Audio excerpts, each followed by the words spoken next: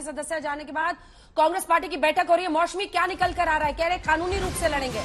क्या तेज़ी दिखाएँगे हाईकोर्ट जाने में? मौसमी।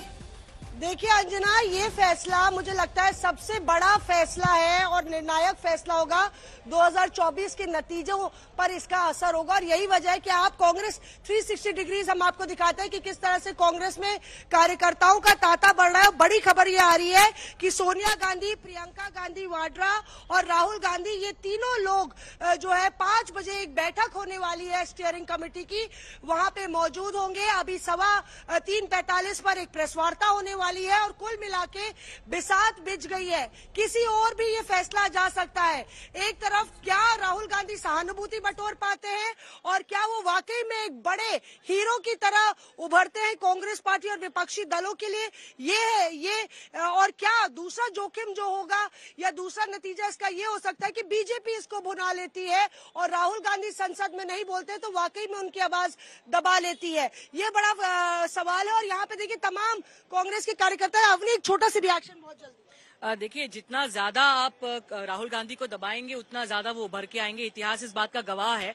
तो इस प्रकार से जो मैं कहूँगी, ओछी राजनीति पर भाजपा उतर आई है कि भाजपा एक तरफ़ से एक ऐसे सेंटेंस को, जिसको एक ऐसे बयान को, जो कि बेरोजगारी के संदर्भ में दिया गया था, देश में उड़ते, जो उभरता हुआ भ्रष्टाचार है, उसके संदर्भ में जो बयान दिया गया था, उसको इस प्रकार से ओबीसी के बारे में बना दिया गया तो ये मैं कहूँगी, ओछी राजनीति है, लोग समझ रहे हैं और लोग बार बार जो पूरा तारी है, राहुल गांधी के घर पर प्रियंका गांधी गांधी पहुँची हैं और बताया जा रहा है कि सोनिया गांधी राहुल गांधी प्रियंका सब उस बैठक में शामिल होंगे जिसमें आगे की इस पर स्ट्रैटेजी तैयार होगी। मौसमी मैं लौट रही हूँ आपके पास।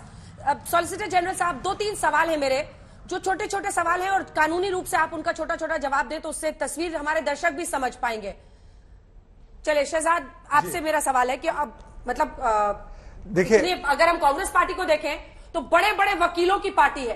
क्या वो स्ट्रैटेजी अब अपना सकते हैं? तीन चार प्रश्न है। क्या राहुल गांधी की सदस्यता को बरकरार रखने का कोई विकल्प है अब उनके पास? सवाल नंबर एक।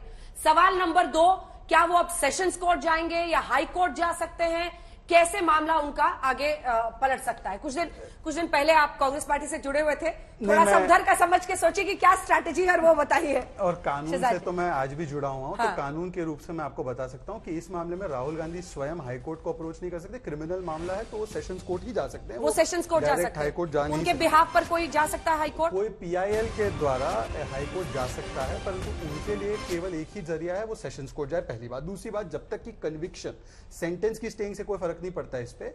कन्विक्शन जब तक की स्टे ना होता है तब तक तो उनके ऊपर नहीं अगर उनकी सजा को अगर उनकी सजा को सेशन कोर्ट दो साल से कम कर दे तो फिर देखिए अगर और मगर में कानूनी बातें नहीं होती। इफ़ विशेज वर हॉर्सेस तो बेगर्स वुड फ्लाई कहते सॉलिसिटर जनरल ने कहा तो, कि अगर दो साल से कम अगर सजा होगी तो उनकी सदस्यता बरकरार नहीं नहीं कोर्ट नहीं नहीं कानूनी स्थिति ही पूछ देखिए मैं कोर्ट फैसला देता है तब भी उन पर क्वेश्चन मार्क नहीं करता और कोर्ट क्या फैसला देगा ये भी करने की क्षमता जयराम रमेश और सुप्रिया सिनेट वगैरह की होती है मेरी नहीं होती। पर मैं सिर्फ़ इतना कहूँगा कि आज की तारीख में जैसे ही उनकी कन्विक्शन हुई लिली थॉमस के आधार पर वो डिस्कालीफाइड थे उसको केवल फेट अकॉम्प्लाई की तरह आज स्पीकर के ऑफ़िस से वो जारी हुआ है वो डिस्कालीफाइड है, एक वक्तव्य सिर्फ़ देना चाहूँगा, क्योंकि बार बार जेपीसी का विषय आता है और अंजना जी, आपका शो बहुत हज़ारों लाखों लोग देखते हैं। कांग्रेस की ओरिजिनल डिमांड दो फरवरी को, मैं खड़गे जी का बयान पढ़कर सुना रहा हूँ, या तो जेपीसी या तो सुप्रीम कोर्ट की मांग थी प्रोब की मांग।